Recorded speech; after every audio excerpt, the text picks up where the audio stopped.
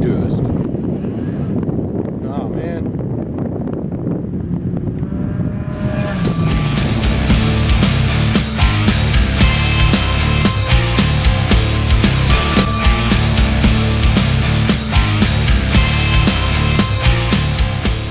Gwenn and I had a great time at VORE, Vegas Off Road Experience.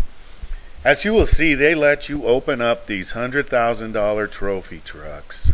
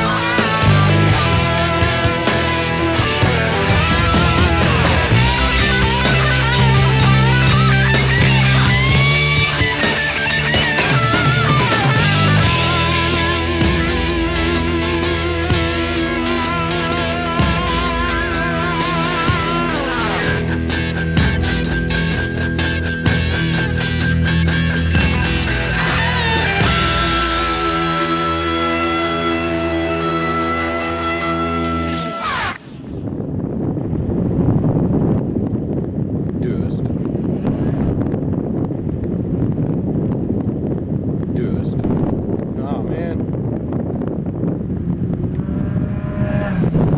Oh man.